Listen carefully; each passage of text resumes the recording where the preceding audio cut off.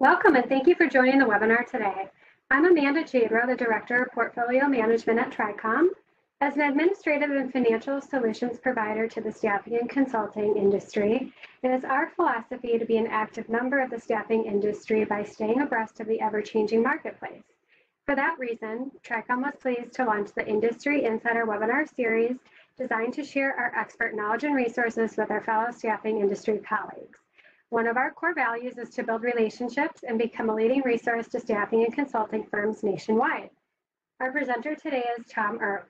With a career spanning over 25 years, Tom has established himself as one of the recruiting professionals' top subject matter experts. As an executive for two of the largest staffing and recruiting companies, Tom worked for some of the most recognizable and well-respected companies in the world to help maximize their workforce strategy. As a consultant and speaker, Tom has helped hundreds of organizations create and execute sales and recruiting strategies. Talent Resources provides consulting, training, and coaching services to the staffing and recruiting industry, as well as workforce strategy, sales, and recruitment consulting to organizations of all sizes. With extensive experience in flexible staffing, managed services, and recruiting industries, Talent Resources brings a broad and unique base of experience, and knowledge, and creativity to the staffing industry. The talent shortage we are all facing is not short-term or cyclical. It will be, um, and it won't be solved by traditional recruiting means. Um, leading labor market analyst firm EMSI has labeled it as the SAMSdemic, meaning without people. We are at the beginning of a global labor crisis, and many economists and labor experts believe will last for decades. So, what can we do to uh, adapt and ensure that we are um, appropriately and consistently staffed? In today's Industry Insider, um, Tom is going to discuss the current and future state of the labor market, and what that means for businesses and the economy, and how you can gain a significant competitive advantage by fundamentally changing the way you approach the recruiting function. With that, I'll turn the floor over to Tom. Great. Thanks, Amanda. Thank you, TRICOM, uh, for uh, giving me a little bit of time. And thank you, everybody who's attending, for taking up some of your time to talk about this uh, critical issue that we've got going on, this uh, topic that's on everybody's mind. It's on the minds of of uh, staffing and recruiting firms and on all of your clients' minds. Um, so we're going to talk about today what's really going on and what we can do to address it and how we can use this as a, as a competitive advantage to get ahead. There's always opportunity in any of these situations. You know, they talk about the you know, rising tide lifts boats. Well, we also talk about the fact that, uh, you know, the downturns in the economy, uh, you know, thin the herd, and so do does adversity. And right now, we're dealing with a lot of adversity in finding talent and keeping talent. And so um, we're going to talk about that today. And let's jump in. You know, we hear this term about being ghosted, right? I mean, you guys have probably used the term before. You've certainly heard the term before. Oh, that candidate ghosted me. And when I talk to staffing companies and I talk to staffing and recruiting professionals, there are some common themes that I hear, and I hear it even when I'm, you know, listening to the news uh, on the radio or on television, and they're talking to somebody who is uh, trying to recruit for their restaurant or for a hotel or for just about anything.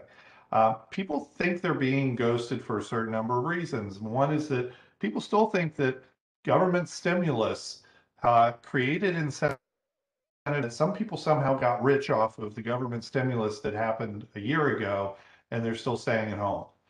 The pandemic has created barriers to work. That's absolutely tr- true, but most of those barriers uh, have been worked around. People have gotten used to them. They've gotten adjusted to them, and, and they've been able to come back. There are still several million people, uh, according to statistics, that say that um, uh, they're uh, they had to leave the workforce due to the pandemic, and they have not yet come back because of childcare reasons, because of other types of reasons. So there is a, a subsection of that, but it's a relatively small piece of the overall workforce. Remote interviewing and communication reduces the commitment. We hear this all the time. You know what? I really want them to come into the office because then I know that they're committed. Um, and then candidates are unmotivated, they're unreliable, they're disrespectful, they just don't want to work. We hear that all the time. You see signs up, you know, we're closed today because nobody wants to work. Well, I can tell you, I've been in the staffing industry for 28 years. We were saying that 28 years ago in 1994 we were saying, geez, people are unmotivated, they're disrespectful. That hasn't changed much. And I don't want to completely discount these things because they certainly are a factor into what's going on, but it's really a small piece of it. And there's there are factors that are much more on a macro societal level that uh, are having a greater impact. And so if we look at all this stuff and we say this is what's going on, with the exception of the last bullet point, what we're also saying is that this will go away, that eventually things will get better. And if we take that approach, then we're saying this is a short-term blip. But what I'm going to show you is that these are long-term societal issues that we're going to be facing for decades. Uh, and because of that, we need to have a different strategy around that. So here are the reasons that I see why they really ghost companies. One is there's just not enough people to go around. And so we'll talk about that in a second they don't like us. And it's not that they dislike us, it's that we don't give them a reason to actually like us, that we don't try and engage with them, that we don't tell them about the selling points of our company or our clients or the opportunity that we have. And then lastly, we just tend to be too slow. Things are speeding up. They've been speeding up. We, we have a very limited shelf life for candidates. And if we're not the first in line, there's a good chance that we're not going to win. So we're going to talk about each of these. The first thing I want to bring up is this whole idea of fair share. And I mentioned that I listened to these owners of restaurants and bookstores and and uh, all these different types of companies, and they're interviewed on the news, and they go, you know, I I put out the ads, the job postings, and I I get some people to apply, but then they don't show up, and I just don't understand why I can't fill the jobs. What they're really saying is is that I don't understand why I'm not getting my fair share.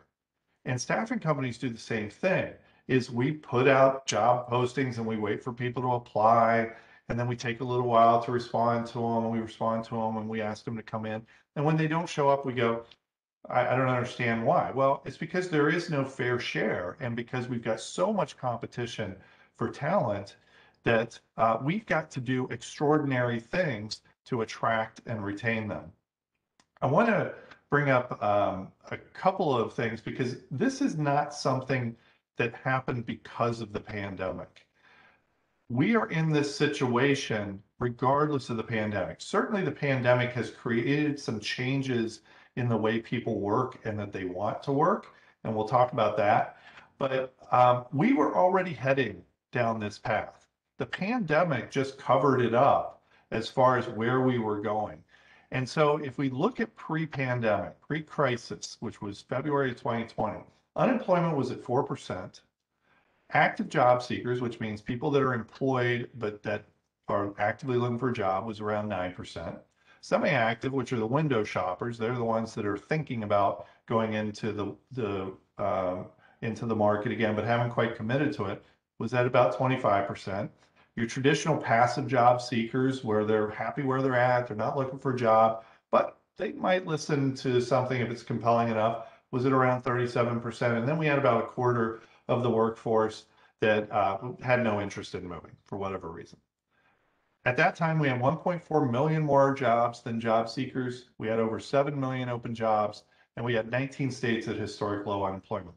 So going into the pandemic, it's not like it was a normal economy and a normal labor market. We already were experiencing significant shortages. What happened was, was over the next two years, it just got worse. It just continued on that trend. And so we had this big dip in April of 2020 when everything, everybody was in shock. Everything kind of fell apart for a couple of months and then it jumped right back up. But today we're at 3.8% unemployment we have pretty much the same type of workforce makeup as we did before. It's pretty much not 11% active, a little bit more active, um, a little bit less passive, but pretty much the same. We have 6.3 million people that are unemployed right now, and we have 10.75 million employers. So when we talk about fair share, if every employer is looking for just one person, there's not enough unemployed people to go around. And uh, of course, many employers are looking for a lot more than just one. And, and I'm sure you are looking for maybe hundreds, even thousands of people to fill your positions. So um, again, the pandemic didn't create this. It just kind of covered up the trend that was already going on. Why is that? Well, if we take a look, we can see that at the end of the recession or towards the end of the 2009 Great Recession, we were at about two and a half million open jobs. That has been steadily increasing over the last 12 years. And you can see we hit the pandemic and we dropped down for a couple of months, but it bounced right back up. It took a few months to recover and then it shot up. Um, and so we are now bouncing around at about 11 million openings uh, across the United States. There are a variety of reasons for this. One of the biggest reasons is that we have had an issue with replacement rate for the last 50 years. What is replacement rate? That is the number of children that people need to have to replace themselves. And the replacement rate, as almost all economists agree, is 2.1. So just over two, two uh, children per couple to replace themselves, which makes sense, right? And so we look at back when the baby boomers were born, back in the 50s and 60s, we were running at almost a 4.0, four children per couple. That dropped after the baby boomers, and this is when we started to have the baby bust. And so the Gen Xers, we didn't have as many of them. We dropped down to about 1.7 or so. We have now bounced below or at the replacement rate for the last 50 years. What that means is that as baby boomers retire, we don't have the people to replace them. And so our workforce is actually shrinking. And this is not just a United States issue. This is happening all across the world in a variety of different countries. But we're particularly seeing with us. And if you look at it, we are on a downward trend that is even greater than it was before. We're down to 1.6. And this is probably not the lowest it's going to be. Why? Because newer generations are having less children. They are putting off having children until later. And so not only are we having less people, but it's getting extended out. So our problem is we just don't have enough people. There are not enough people entering the workforce to make up for the ones that are leaving, which is this baby boom. So we had this baby bust, but we've had a 50 year baby bust now. Uh, mentioned in the introduction about EMSI and about a study that they did last year. EMSI is a, um, a labor market think tank, uh, great resource, and uh, they did a study at the um, about this time last year called the demographic drought, and it basically said this is what's really going on. We have the perfect storm of of different um, things that are going on in the labor market and in society in general that are causing this drought of talent, not just now, but it's going to go on for decades. We mentioned that the baby boomers, uh, their retirements, they're not only are they retiring, but those retirements are actually accelerating. When baby boomers started to retire, they were doing it at about 2 million a year, and that went on for several years. In 2020, the first year of the pandemic, 3 million retired. In 2021, 3.5 million retired. So it's actually accelerating. And this is kind of a double whammy because if you think about it, most economists and most of us thought that baby boomers were actually going to stay on past retirement age, past 65, because they didn't save as much money, they're healthier, they want to work more, they want to keep working. And so we thought we were actually going to have some extra time where they were going to be in the workforce. The opposite has actually happened. We're seeing them retire earlier we're also seeing the Gen Xers start to retire or semi-retire earlier in their in their late mid to late 50s, even uh, in many cases. And so that's obviously causing an issue. And with that, the replacement rate continues below replacement levels. So we've got two different things going on at the same time. It's a it's a triple whammy. Um, Also, newer generations are working less. The study cites that males that are the your millennials and Gen Z are working on average 14% less than previous generations. That is by choice. Uh, and then we have employees that are leaving the traditional workforce for all sorts of different non-traditional work. Things like entrepreneurship. It's easier than ever to start your own company up. You can do it remotely. You can do it all web-based. Um, gig work. So, um, you know, Uber, Uber, um, Uber Eats, DoorDash, Fiverr, Upwork, all of these different gig opportunities where people can do different gigs. They have flexibility and uh, in many cases can do it remotely as well. Part-time work, we're seeing a trend and we have been for several years of rather than somebody having a one full-time job, they are having multiple part-time jobs and it gives them variety, it gives them flexibility, and it's something that we're seeing more and more people do. And then the last one is not working at all. We are at our lowest participation rate in uh, well over 40 years. We're down to 62% of working age people, ages 18 to 65, 62% are working. 38% are not working enough to count in the participation rate. So they're not working at all, or they're just working a little bit, not working enough. That is the lowest it's been in decades. So we've got all of these different things together to make that perfect storm. So that's what's going on out in the market. So what do we do about it, right? Um, well, we've got to think about several things. One, we've got to be more attractive to our candidates than others are. And we got to be more attractive to our candidates than we probably are presenting ourselves right now. Second, we've got to be more aggressive than our talent competitors. And when I talk about talent competitors, don't just think of other staffing companies. That's not who we compete with against for talent. We compete against them, but they're not the only ones. Anybody that's out there that is competing for that talent, those are our talent competitors.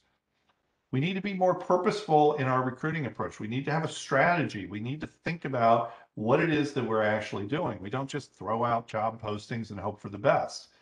And then lastly, we need to be more committed to retaining our employees. It's more critical than ever that we figure out what we can do to maximize our relationships with our employees. We're not going to keep them forever, but how do we keep them an extra six months, extra year, extra couple of years?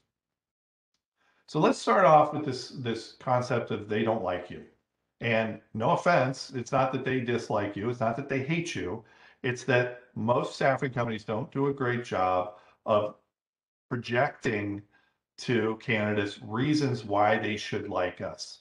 And so some questions to ask yourself are, am I recruiting or am I just processing candidates? Um, am I just going through the motions? Am I just asking from a checklist? Am I just trying to get them so I can set them up for them to come in and do an orientation or fill out an application? Is my job posting appealing? Have I even thought about my job posting appealing? Most job postings are not appealing. We'll talk about that in more detail. How do they feel after our initial call? How do they feel after every interaction that we have with them? When they get off the phone with us after the first call and their spouse or their friend or their significant other or their, their kids or their parents ask them, who was that? What did they say? Did they say they had a positive experience? Are they excited? Was it a good call or was it, oh, it was just another one of those companies that called me because I applied to jobs on Indeed. I don't even remember applying to them. And how do we keep them feeling engaged and valued throughout the process? So the strategy is, is simply be likable, right? Um, we need to greet applicants with enthusiasm. We need to treat them as with value. We need to treat them with respect. And I know that to some of you that sounds like common sense, but I can tell you going and visiting offices that offices get so busy and recruiters get so busy and so many times that we forget to be likable. We forget to engage candidates. We forget to try and build rapport. We forget that we are in competition and that we need to be trying to recruit them. That's the whole recruit part of recruiters, right? Is that we need to be attracting them to us and to our clients' uh, jobs and opportunities. We need to treat every single applicant as if they're our next great employee because they very well might be. Uh, and we need to specifically think about making every interaction positive and memorable. Tell me if you would eat at this restaurant. So if you saw this um, this advertisement out there. Tell me how appealing this seems. ABC Cafe is looking for customers that will spend their money to eat food at our restaurant. Exclamation mark to make it exciting. At ABC Cafe, you will read a menu and select items for consuming, eat your meal within a reasonable amount of time, review and pay the bill. Sounds awesome. The ideal customer must possess the following a friendly and positive attitude towards all staff, appreciation for the opportunity to dine with us. I won't read the whole thing for you. Customers that meet the above criteria can expect to receive a chair, a table to eat on, menu with items for purchase, full range of utensils, and complimentary water with their meal. Another exclamation mark. Sounds ridiculous, right? That- Who would eat there? That's a horrible ad. And yet, let's turn that over into a job posting. ABC Cafe is looking for experienced serv- servers! Exclamation point because it makes it exciting. At ABC Cafe, you will be responsible for serving each guest courteously, quickly, and efficiently. Have a sincere, positive, pleasant, and enthusiastic attitude. By the way, I pulled all of these from actual job postings. All of this here. The ideal candidate must possess the following the ability to stand and exert fast paced mobility for periods of four hours or more with a high energy level. All of those things. We offer competitive pay, we offer benefits, we offer all this stuff. So if you think about, it, we go back to this, it's a combination of what the restaurant wants, not that they're trying to attract you, but what they want. If you meet that criteria, you're allowed to come in and eat there. And by the way, here's all the stuff that you would get if you went to any restaurant. You get a chair, a table, all that. It's the same exact thing that we do with our job postings. Go and take a look at your job posting and see if it sounds like this. And if it doesn't, great, because you're ahead of the ball game. You can go onto Indeed or any other job board and look at all of your competitors and what they're posting out there. So it brings us to what we see over and over and over again are the most common job posting mistakes. One is that we are posting job descriptions out there instead of marketing pieces. We literally copy and paste the job description and put it into our posting just because whatever reason we don't have enough time to focus on it or we don't give enough thought to it that it really should be a marketing piece. We make everything about what we want and what we need, not about what's going to attract the candidate and get them interested in us the opportunity. We write job postings that try and screen out unqualified candidates. Go to LinkedIn sometime and run a search of your jobs or other jobs that you're competing with in your market. The reason why I say LinkedIn is because you will see a ton of those jobs and you will see almost nobody applying. LinkedIn actually shows how many people have applied to the job. You'll see anywhere from zero to four or five people applying to jobs. We don't have the luxury to screen people out. And in many cases, we put language in our job postings that screens people out that we actually would talk to. And yet we put those requirements in there. Uh, and so we need to make sure that we don't do that.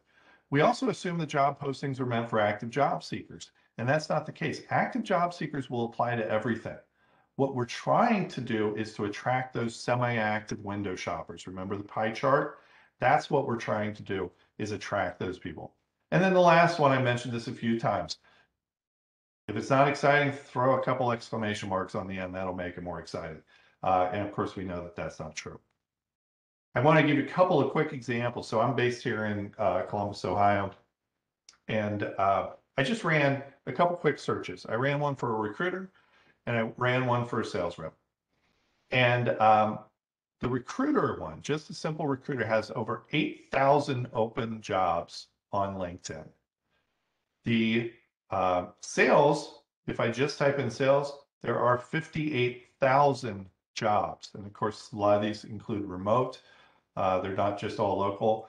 And that's why we have such a large number 58,000. So when we're posting jobs out there, we need to realize that we have an incredible amount of competition and we've got to do something to separate ourselves. So we do that by moving away from the employer centric phrases and focusing on candidate centric phrases. Employer centric phrases are ones like the ideal candidate must possess the following skills. We are looking for candidates that can do this. Are you hardworking and dependable? Must be able to pass a drug screen. What we want to focus on is painting a picture where that candidate reading that ad realizes that their life would be better in this job and working with us or for our clients? Are you looking for the next stage in your career? Plenty of time for your personal life. Have you always wanted to do this? You're the type of person who enjoys doing this. Think about if you bought a house at any time and that realtor takes you into a new house and walks you around and says, Can you imagine eating Thanksgiving dinner in the dining room here in front of the fireplace? Or whatever that might be. They're trying to paint a picture, they're trying to create an emotional connection. That's what we want to do with job postings. This is just an example of, of one that we created for a client. Um, and uh, what we did was this is an entry level sales position. Not a lot of requirements. We said, you know what? Let's look for somebody who's got a great attitude, great personality, willing to do the work, uh, and is ambitious. That's all we're looking for. And so let's focus on how do we attract those people and then we'll screen them out. Because again, we're not getting 300 people applying to the job. So we said, instead of job requirements, we said, what is the opportunity? Have you always wanted to sell a cutting edge service in an industry with limitless growth potential? Are you looking for a 100% virtual sales position where you're rewarded financially and professionally for your individual performance? We're all focusing on does this sound like you? Does this sound like something you would be attracted to? And then again, instead of going into requirements right away, we said, what makes this job so awesome? Here's the support you'll get. Here are all of the great things about this company and about this position. We have everything you need to be successful. And we go on to list all those things.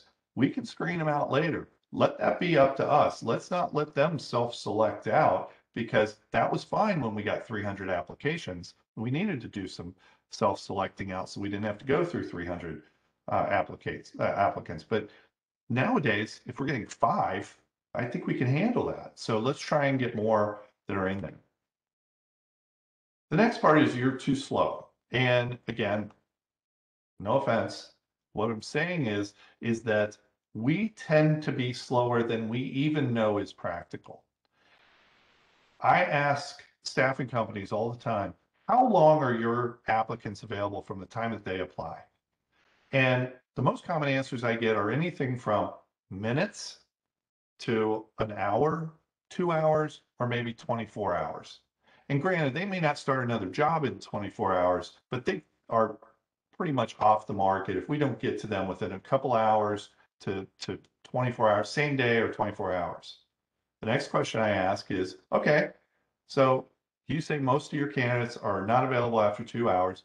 How long does it take you to respond to their application?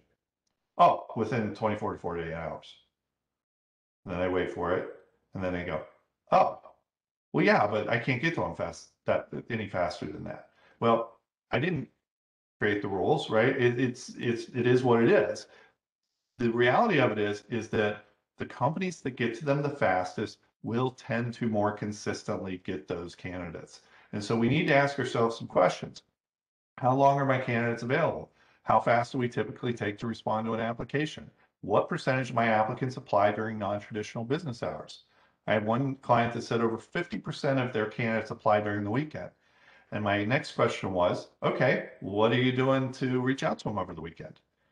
And they looked at me like they didn't know what language I was talking.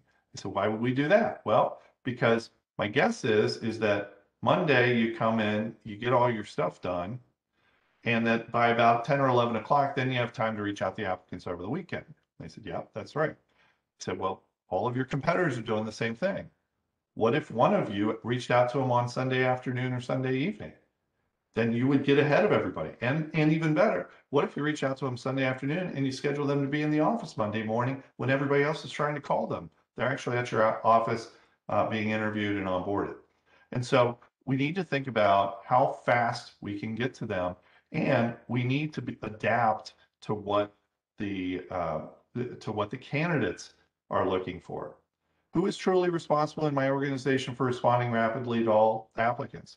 If I say, who's responsible for responding to the Indeed applicants or the Facebook applicants or any of those? And the answer is, well, we all are.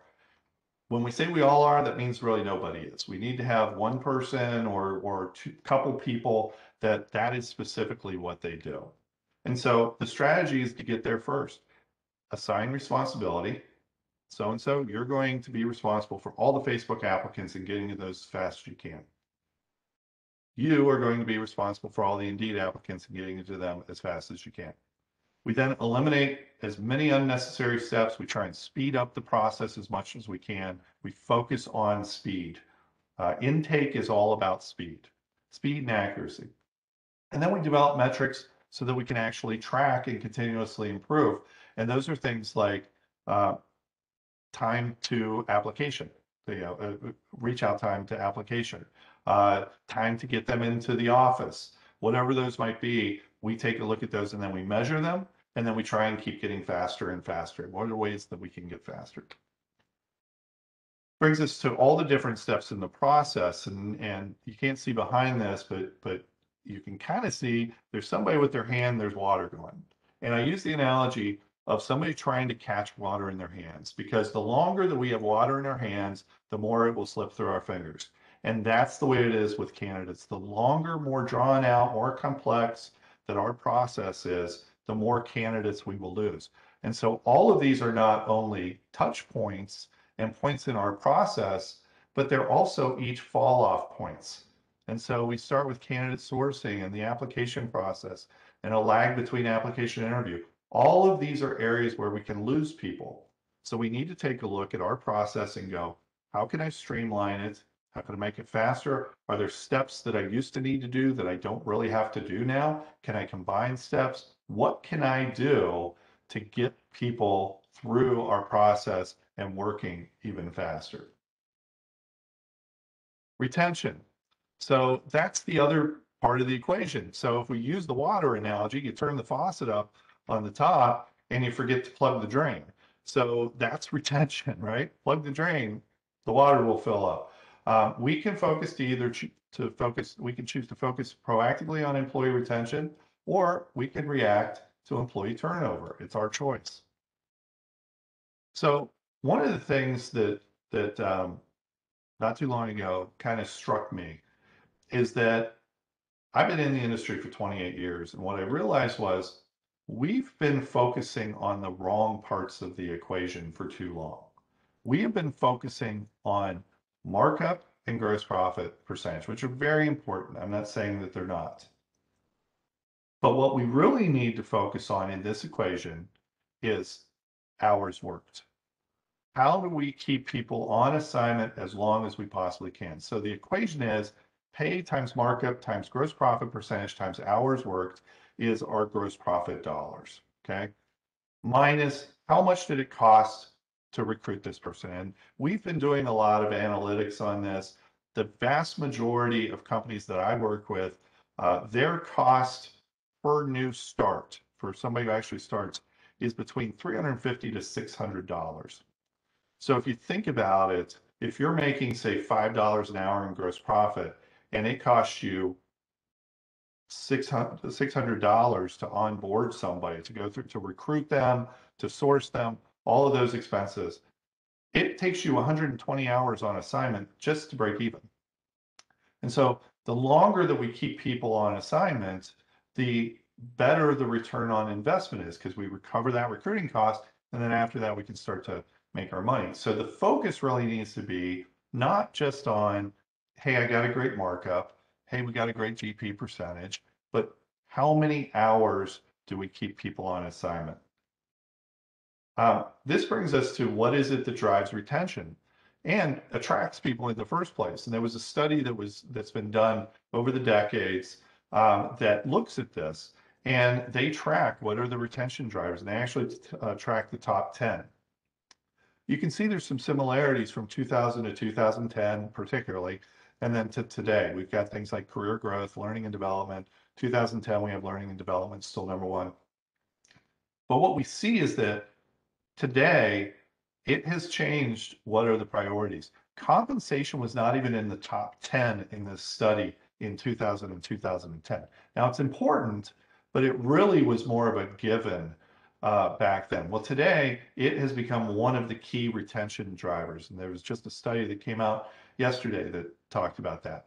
Flexible work arrangements, that has become more important. So we've gone to this kind of work life balance, that kind of thing, to flexible work arrangements. Still work-life balance, but flexible hours, the ability to work from home, part-time or full-time, different ways that we can be flexible. And then the third one is we've gone from meaningful work to making a contribution and to inspiring work to now what is purpose driven work. I want to work for an organization that has purpose that I can believe in. And I want to be doing work that I can believe in and be proud of. And so those are the three primary retention drivers that we're seeing in the market today. So let's talk about the strategies. And there's there's a few different ones, but I'm just going to talk about a few of them. The first one is can you break up the 40 hour work week? Talk to your clients. Get a couple of your clients that are a little bit more creative and a little bit more willing to do some different things. And instead of just eight to five or whatever shift it is, can we fill this by shift or by block? Um, can we utilize scheduling technology, take it off their hands, say, hey, listen, if you need to have 20 people there every day, uh, then let us manage that. It's not going to be the same 20 people every day, but it's going to be different than having different people every day. What it's going to be is so and so can work Monday, Wednesday, and Thursday. Somebody else can work Tuesday and Friday. And so we're going to basically have, have people job share. And I know that that's more work on your part, but it's an awful lot of work to try and fill jobs you can't fill too. And so if we can provide a solution to them that they can't go and get other places, that provides a lot of extra value to us. And we then have a service offering that we really can go out and sell and that we can show uh, is proven. The next thing is go remote. Um, yeah, uh, 60 Minutes uh, just a few weeks ago had a, a uh, whole session, the section that was on um, uh, the Great Resignation, and they had the lead economist from LinkedIn, and she provided some interesting data. One is that they found that candidates are two and a half times as likely to apply to a remote job. Prior to the pandemic, one in 67 jobs on LinkedIn was virtual, and now that number is one in seven as far as jobs that are posted. So you're seeing much more competition around virtual, either part-time or, or full-time. And then lastly, take a look at beefing up your benefits. And going back in many cases back to the way that we had benefits 20 plus years ago, take a look at healthcare, take a look at paid time off. Um, what are benefit programs we might be able to offer for part-time workers? Because remember, we were saying a lot more people want to do part-time work. Maybe they want to do a gig job over here. Maybe they've got a little little uh, entrepreneurial uh, business that they have over here. Well, we can be their part-time job where they get their benefits. And so that that creates stickiness and that creates the longer retention. And then consider incentive programs that reward employees for working more hours. It's something that Uber does. Uber incentivizes uh, Uber drivers to work to take as many rides as possible and to keep working for them more and more because Uber sees the value in having the same drivers take more rides as opposed to constantly having a revolving door of drivers.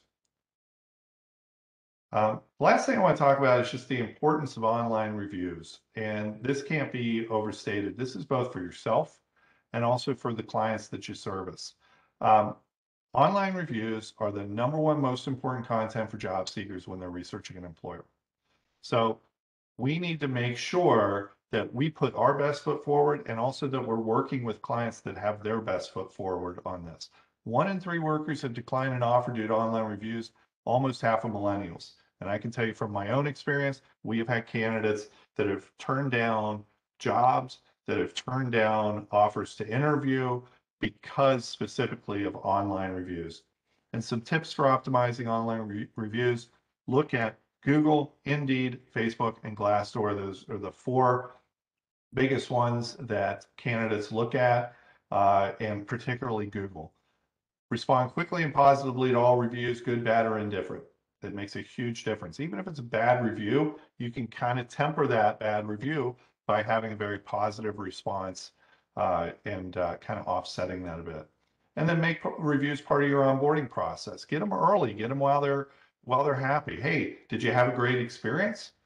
Then would you be willing to sit down on one of our computers and fill it out, or would you be willing to use this QR code and go and fill it out on your phone or on your computer or whatever uh, when you're at home? So I ran through a bunch of stuff here. Um, I am going to open it up for questions and we will um, take any any questions that people want to throw out there. Okay, so if you have any questions, you can go ahead and submit them in the chat or the Q&A feature and I can read them off.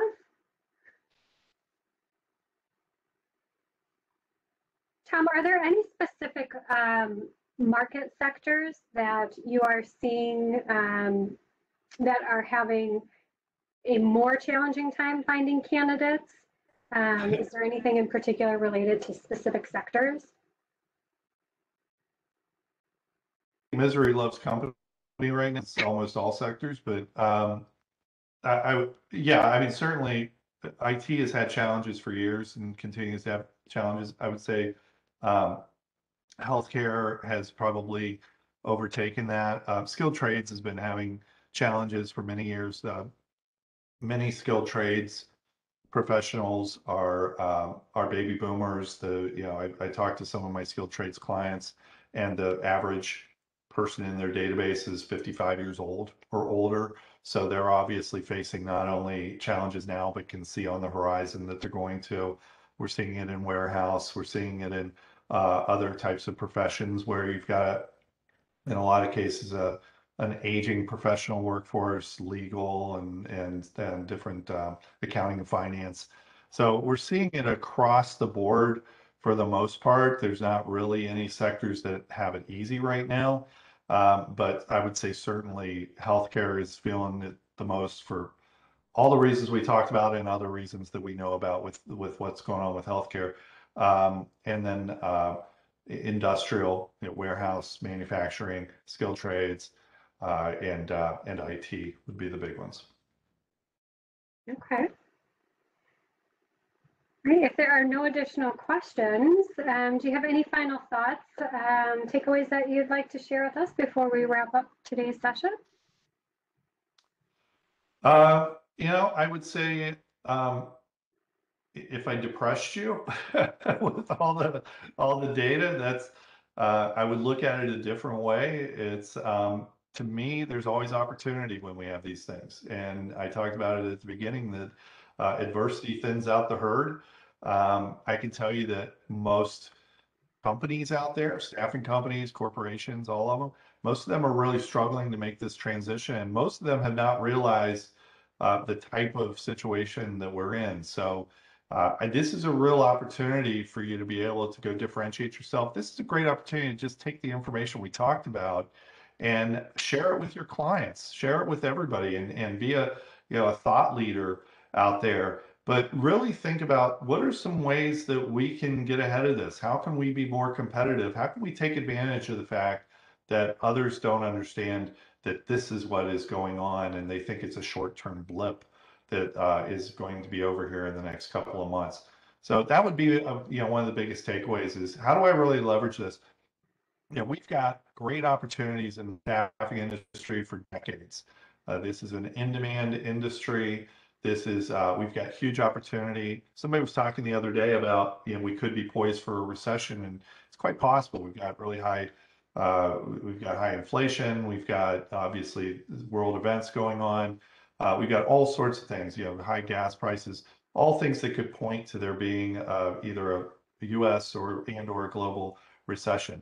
But we got 11 million open jobs right now, and even a significant drop in the economy um, is not going to eliminate those 11 million jobs. Uh, it's going to soften the market if that happens, and eventually it will happen. There's always downturns, uh, but if it does happen, there's still going to be plenty of opportunity. The last time around the Great Recession, uh, Great Recession, we didn't uh, we didn't start out with this many jobs going into it.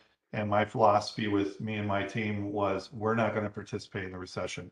Uh, so I, I, would just uh, that I would offer those thoughts that uh, if that is indeed the direction that we might be headed, and we don't know, uh, that there's still going to be tremendous opportunity for the staffing industry. That's a great point. Thanks for ending on such a high note. Um, it's a wonderful feeling to be in an industry that you um, know is going to be in such high demand in the future here to help solve some of these problems that um, companies are facing. So thank you so much for sharing all of this information. Um, we'll post information on our website if you'd like to share um, with others in your team. And if you need um, anything from um, us or Tom, you can certainly reach out to him directly. Put my contact information up as well uh, if you'd like a handout from today's session. Um, so thank you for joining us. I hope you guys have a great afternoon. Thank you.